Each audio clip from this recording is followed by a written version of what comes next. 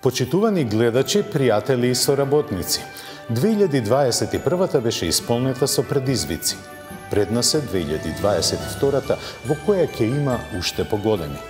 Искрено ви посакувам во името на екипата на Автомагазин година исполнета со здравје, успех, просперитет и безгрижно поминати километри. Во неа ќе има што да се види во театарот на автомобилската индустрија, каде ние ќе бидеме редовно присутни а предизвиците ќе ги надминеме заедно. Среќна нова 2022 година!